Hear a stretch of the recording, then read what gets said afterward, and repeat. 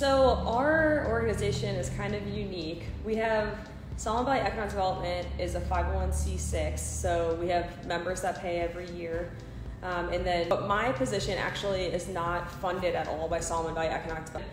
I serve as sort of their face, and they are very supportive of the projects that I do. So they'll contribute to, like, if I go to a conference or if I do something, sometimes they'll cover those costs. But ultimately, I'm an employee of the city of Beloit.